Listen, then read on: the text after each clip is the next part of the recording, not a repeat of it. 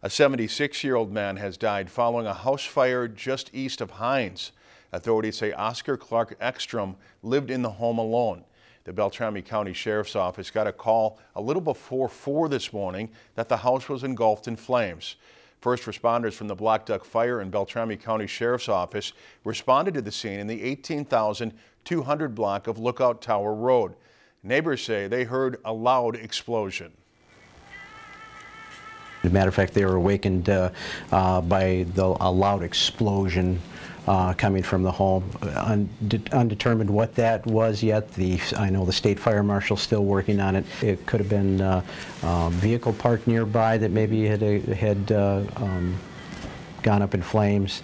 Um, it could have been propane cylinder, or, or depending on what the what it, what was there.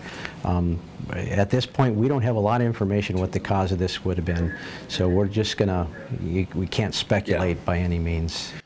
Firefighters worked to preserve the home, but say it was a total loss. The case is currently being investigated by the Beltrami County Sheriff's Office, Blackduck Fire, and the State Fire Marshal's Office.